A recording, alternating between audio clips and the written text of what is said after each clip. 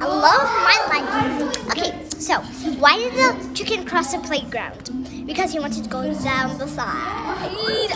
Why did the chicken? I mean, why did the chicken nuggets and the fries run? Because they're fast food. And then, what? How did the how did the, how did the boy go to high school? He took a ladder.